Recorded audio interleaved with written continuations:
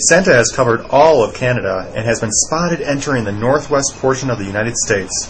NORAD Santa cams have captured these amazing images of Santa as he makes his way around Seattle's Space Needle. From here, he should head down the Pacific coast toward California and then in the Pacific Ocean. For NORAD Track Santa, I'm Lieutenant Commander Gary Ross.